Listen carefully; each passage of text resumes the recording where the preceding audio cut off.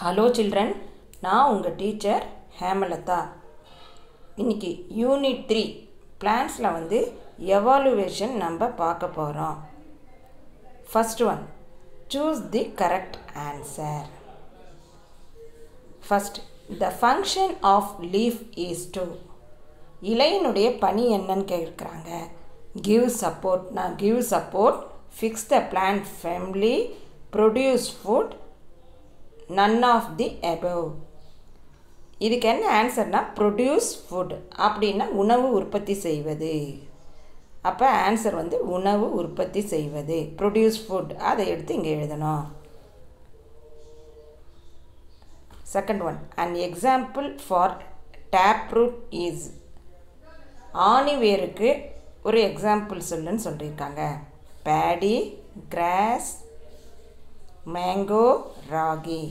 Mango அதை எடுத்து இங்கே எழுதணும். டேஷ் சப்போர்ட்ஸ் தி பிளான்ட்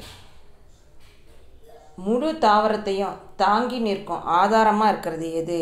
அப்படின்னா ரூட்டா லீஃபா ஃப்ளவரா ஸ்டெம்மா அப்படின்னு சொல்லி கேட்குறாங்க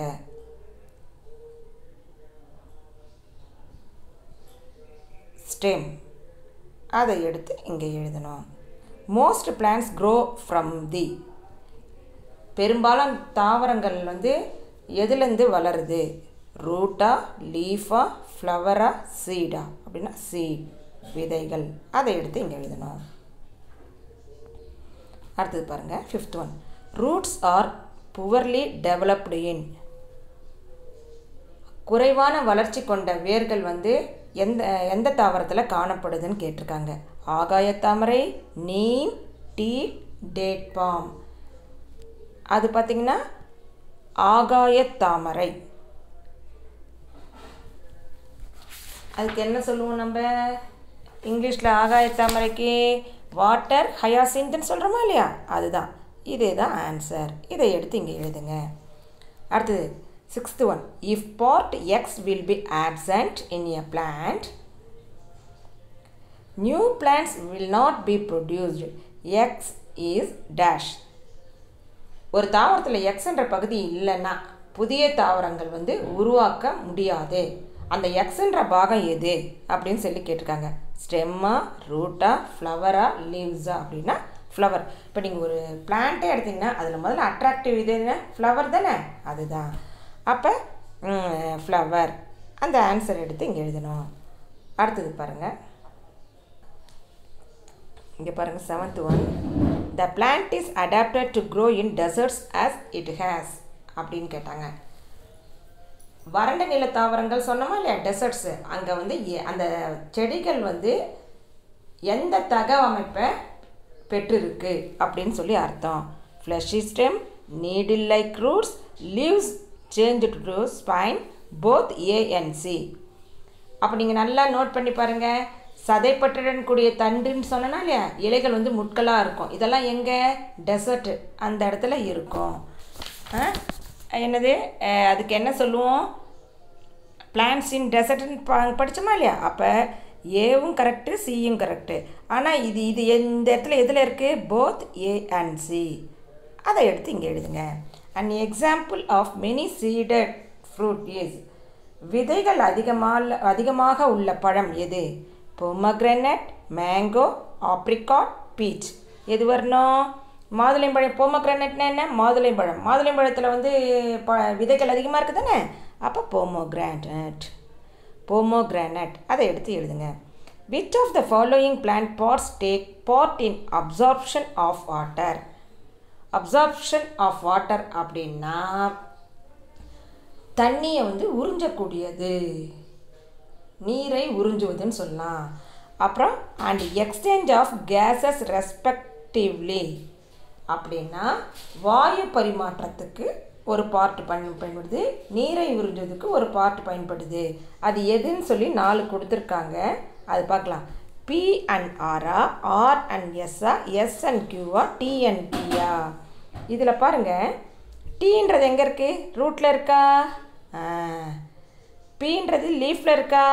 அப்போ இது வந்து part in absorption absorption of water இது வந்து எக்ஸ்சேஞ்ச் ஆஃப் கேஸஸ் ரெஸ்பெக்டிவ்லி அப்போ எது answer correct T and P அதுதான் அந்த ஆன்சர் எழுதணும். ஃபைன் தி ஆட் ஒன் இதில் பொருந்தாததை ஒன்று நம்ம ரவுண்ட் பண்ணணும். கேரட் ரேடிஷ் டொமேட்டோ பீட்ரூட் இப்போ carrot rate carrot carrot radish பீட்ரூட்லாம் வந்து இந்த சாயில் மண்ணுக்கு அடியில் வளருது. ஆனால் டொமேட்டோ என்னது? மண்ணுக்கு மேலே தானே வளரும். இருக்கும். அதனால டொமேட்டோ அதுக்கு நீங்கள் என்ன பண்ணணும்? ரவுண்ட் பண்ணுங்கள் கவனி கேபேஜ் க்ரீன்ஸ் டர்மரிக் ஸ்பினேஜ் அப்படின்னா டர்மரிக். இதெல்லாம் வந்து இலைகள் எது உணவு சேர்த்துக்குது. ஆனால் டர்மரிக்ன்றது மஞ்சள். அப்போ எது ஆன்சரு இது மண்ணுக்கடியில் இருக்கும். அப்போ இதுக்கு ரவுண்ட் பண்ணுங்க. Neem aloe vera date palm opuntia. இதெல்லாம் பார்த்தீங்கன்னா டெசர்ட்டில் இருக்கும். ஆனால் நீம்ன்றது வந்து பிளெயினில் இருக்கும். அப்போ எது வரணும்? எது பொருந்தாதது? நீம். அதுக்கு நீங்கள் சர்க்கிள் பண்ணுங்கள் கோகனட் மேங்கோ ஆப்ரிகாட் ஆரஞ்சு இப்போ கோகனட் மேங்கோ ஆப்ரிகாட்லாம் வந்து ஒன் சீட் தான் இருக்கும். பார்த்தீங்கன்னா ஒன் சீட் தான் இருக்கும். ஆனால் ஆரஞ்சில் என்ன இருக்கும்? நிறைய சீட்ஸ் இருக்கும். அப்போ அது வந்து ஆட் ஒன் அப்போ இதுக்கு ரவுண்ட் பண்ணுங்கள் ஹைட்ரில்லியா ஒப்பன்ஷியா வாட்டர் ஹயாசின் வாலிஸ்னேரியா இதெல்லாம் வந்து வாட்டரில் இருக்கும். ஒப்பன்ஷியா எங்கே இருக்கும்? டெசண்ட்டில் இருக்கும். சப்பாத்தி கல்லி. அப்போ எது ஆட் ஆட் ஒன்? ஒப்பன்ஷியா. அப்போ இதுக்கு சர்க்குள் பண்ணுங்கள் இப்போ ஃபைன் த ஆட் ஒன் உங்களுக்கு புரிஞ்சதா? எது பொருந்தலையோ அதுக்கு நம்ம ரவுண்ட் பண்ணணும். பாருங்கள் ஷார்ட் ஆன்சர்ஸ் சொல்லுவோம். ஷார்ட் ஆன்சர்ஸ்னால் குறுகிய விட விடையலே. First one name the parts of a plant அது பேஜ் நம்பர் ஃபிஃப்டி நைனில் இருக்குது பேஜ் நம்பர் ஃபிஃப்டி நைன் எடுத்துக்கிட்டு இங்கே பாருங்கள் the basic parts of a plant are root stem leaf flower fruit and seed தாவரத்தினுடைய பாகங்களின் பெயர்களை எழுதுனா அது கேட்டிருக்காங்க parts of a plant page number fifty நைனில் ஃபஸ்ட்டு இருக்குது பாரு பிளான்ஸ் ஆர் நேச்சர்ஸ் கிஃப்ட்னு இருக்குது தானே அந்த இடத்துல இருக்குது அதை எடுத்து எழுதுங்க. Name the types of roots அதுவும் பேஜ் நம்பர் ஃபிஃப்டி நைன் அந்த ஃபிஃப்டி நைனில் பாருங்கள் ரெட் கலரில் இருக்குது பாருங்கள் என்னது? The types of roots are tap root and fibrous root அதை எடுத்து எழுதணும். Write any two functions of the leaves அது வந்து இலையினுடைய ஏதேனும் இரண்டு வேலை எழுதுகன்னு சொல்கிறாங்க sixty one page number sixty one எடுத்துக்கோங்க. சிக்ஸ்டி ஒனில் பாருங்கள் லீஃப் பே பாருங்கள் அந்த இடத்துல ஃபங்க்ஷன்ஸ் ஆஃப் லீஃப்ன்றது நான் அந்த இடத்துல இருக்கு பாருங்கள் leaf prepares food for the plant second one leaves of some plants are edible and rich in nutrients example greens cabbage இந்த ரெண்டையும் நீங்கள் எழுதலாம். அதை நீங்கள் இந்த இடத்துல எழுதலாம். Write the parts of a flower பூக்களினுடைய பாகங்களை எழுதுகன்னு சொல்லி கேட்டிருக்காங்க. பூக்களின் பாகங்கள். பேஜ் நம்பர் பேஜ் நம்பர் வந்து sixty two sepal petal pistil stamen. அதை எடுத்து இங்கே எழுதுங்க. Name the types of the plants based on their habitat வாழிடங்களின் அடிப்படையில் தாவரங்களை வகைப்படுத்துதல்னா பேஜ் நம்பர் சிக்ஸ்டி ஃபோரில் பாருங்கள் டெரஸ்டியல் ஆர் லேண்ட் பிளான்ஸ்ன்னு இருக்கா? நிலவாழ் தாவரங்கள். அது அப்படியே பாருங்கள் பேஜ் நம்பர் சிக்ஸ்டி செவன் இங்கே பாருங்கள் சிக்ஸ்டி ஃபோர் ஒன்று இருக்குது சிக்ஸ்டி ஃபோரில் ஒன்று இருக்குது சிக்ஸ்டி செவனில் இருக்குது பாரு அதுக்கு என்ன எழுதணும்னா water plants are aquatic plants இது ரெண்டையும் நீங்கள் இந்த இடத்துல எழுதணும். Write any two adaptations of desert plants வர்ணநில தாவரங்கள் இருக்குதுன்னு அதில் வந்து அந்த பிளான்ஸ் கிட்ட இருக்கிற தகவமைப்புகள் அடாப்டேஷன் என்னென்ன அப்படின்னு சொல்லி கேட்டிருக்காங்க. அதுக்கு பார்த்தீங்கன்னா நம்ம பேஜ் நம்பர் சிக்ஸ்டி நைன்லேயே இருக்குது பாருங்கள் கொஸ்டின்லேயே இருக்குது பாருங்கள் அந்த இடத்துல நம்ம படித்தோமா இல்லையா? அந்த choose the correct ஆன்சரில் fleshy stem leaves change to spine A scene போட்டிருக்குதுன்னு அதை எடுத்து கூட நீங்கள் இதில் எழுதலாம். Write the names of some water plants water பிளான்ஸுக்கு name அந்த பிக்சர்ஸில் கொடுத்துருக்காங்க பாரு. பேஜ் நம்பர் சிக்ஸ்டி செவன்லேருந்து இருக்குது பாருங்கள் சிக்ஸ்டி செவன்லேருந்து அந்த பிக்சர் இருக்குதுன்னு அந்த பிளான்ஸினுடைய இது. அந்த இடத்துல இருக்கிறது அப்படியே எடுத்து எழுதுங்க. What water hyacinth pistia water lily lotus hydrilla vallisneria write any two functions of age இப்போ ஸ்டெம் அப்படின்னு கொடுத்துருக்காங்க. இப்போ ஸ்டெம் அப்படின்னா பேஜ் நம்பர் சிக்ஸ்டி ஒன் எடுத்துக்கலாம். அதில் என்ன ஆன்சர் எழுதணும் அப்படின்னா இங்கே பாருங்கள் it supports the whole plant it transports food from leaf and water from root to various parts of the plant some stems store excess food in them example potato onion இருக்குது இதில் ஏதோ two வந்து நீங்கள் இந்த ரெண்டு இங்கே எழுதலாம். அடுத்தது ரூட் ரூட்டினுடைய ஃபங்க்ஷன்ஸ் என்னன்னு சொல்லி கேட்டிருக்காங்க. அது பார்த்திங்கன்னா பேஜ் நம்பர் ஃபிஃப்டி நைன் இது ஃபிஃப்டி நைன் இது வந்து சிக்ஸ்டி ஒன் இது ரூட்டுக்கு என்னன்னு பாருங்கள் அந்த இடத்துல இருக்குது பாருங்கள் root fixes the plant firmly to the soil in some plants roots store food இன்னொன்று roots absorb water and minerals required for the plant from the soil இந்த மூணு கொடுத்துருக்காங்க இதில் ஏதோ ரெண்டு நீங்கள் இங்கே எழுதலாம் அடுத்தது ஃப்ளவர் ஃப்ளவரோட ஃபங்க்ஷன்ஸ் என்ன அப்படின்னு கேட்டிருக்காங்க page number sixty two it develops in to fruit it helps plant to reproduce அதை எடுத்து எழுதணும். அடுத்தது பாருங்கள் why is leaf called food factory of the plant ஏன் வந்து இலையை வந்து தாவரங்களுடைய சமையலறைன்னு சொல்கிறோன்னு சொல்லி கேட்டிருக்காங்க. பேஜ் நம்பர் சிக்ஸ்டி ஒன் எடுத்துக்கோங்க. அதில் இருக்குது பாருங்கள் நான் படிக்கிறேன். அது கவனமாக கேளுங்க. இந்த ஃபங்க்ஷன்ஸ் ஆஃப் லீஃப் இருக்குதுன்னு அந்த இடத்துல first para. Leaf prepares food for the plant with the help of water, carbon dioxide and in the presence of sunlight and chlorophyll. This process is called photosynthesis.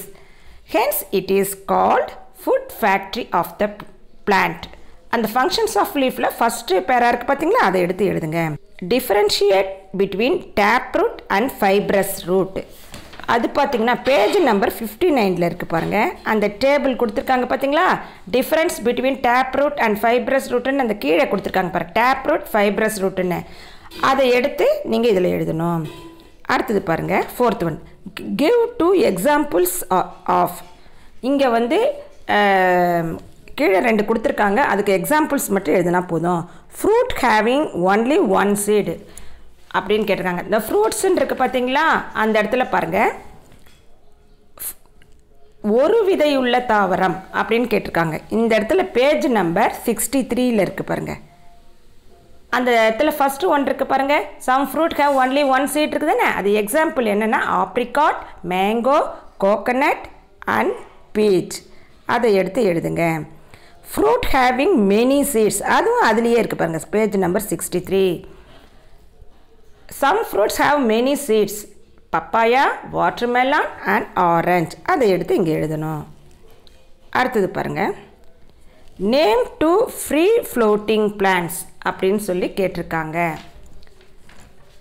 அப்படின்னா நீரில் மிதக்கும் இரண்டு தாவரங்களுடைய பெயர்களை எழுதுங்கன்னு கேட்டிருக்காங்க. அதுக்கு நீங்கள் என்ன எழுதலாம்? Water hyacinth pistia page number sixty செவனில் இருக்குது அதை எடுத்து இங்கே எழுதலாம். மறுபடியும் சொன்ன பாருங்க வாட்டர் ஹயாசிந்த் பிஸ்டியா அதை எடுத்து எழுதலாம். Look at the picture of a water lily இங்கே வந்து அல்லியினுடைய படம் கொடுத்துருக்காங்க. இங்கே கீழே கீழே வந்து கொஸ்டின் கேட்டிருக்காங்க. அதுக்குரிய ஆன்சரை நம்ம கரெக்டாக எழுதணும். Which part which parts of the plant can you see நீங்கள் வந்து இந்த படத்தில் எந்த பகுதியெல்லாம் மேலே தெரியுதுன்னு சொல்லி கேட்டிருக்காங்க. எது இதெல்லாம் தெரியுது தெரியுது பாருங்கள் இந்த பிக்சரை பாருங்கள் ஃபஸ்ட்டு என்ன இருக்குது ஃப்ளவர் லீஃப் ஸ்டெம் இதில் நீங்கள் லில்லி அந்த உள்ள ப- அந்த படத்தில் பார்த்தீங்கன்னாவே தெரியும். இதெல்லாம் வந்து நம்ம பார்க்கும்போதே தெரியுது. Where are the plants roots and stem அப்படின்னு கேட்டிருக்காங்க. தாவரத்தினுடைய ஸ்டெம் எங்கே இருக்கும் வேறு எங்கே இருக்கும் அப்படின்னு சொல்லி கேட்டிருக்காங்க. இப்போ நம்ம என்ன சொல்லலாம்? ஃபஸ்ட்டு என்ன கேட்டிருக்காங்க? ரூட்ஸ் கேட்டிருக்காங்க. இதுக்கு என்ன ஆன்சர்னால் roots fixed in the bottom மறுபடியும் சொல்கிறேன் பாருங்க. Roots fixed in the bottom ரூட்ஸுக்கு answer எழுதியாச்சு. அடுத்து ஸ்டெம்முக்கு என்னென்னா stem floats in the water root வந்து பாட்டத்தில் இருக்கும். ஃபிக்ஸடாக இருக்கும். ஆனால் ஸ்டெம் வந்து அந்த ஃப்ளவரோட மேலேயே இந்த வாட்டரினுடைய மேலேயே மிதந்துட்டு இருக்கும். Stem floats in the water தண்டு வந்து இந்த காற்றறைகள் இருக்கிறதுனால அது தண்ணிக்கு மேலே மிதந்துக்கிட்டு இருக்குது யூனிட் த்ரீனுடைய பிளான்ஸ் எவாலுவேஷன் முடிச்சிட்டோம். இந்த செகண்ட் டைம் வந்து எல்லா சப்ஜெக்ட்ஸும் நான் முடிச்சிட்டேன். நெக்ஸ்ட்டு வந்து தேர்ட் டேர்மில் நம்ம பார்க்கலாம். Thank you children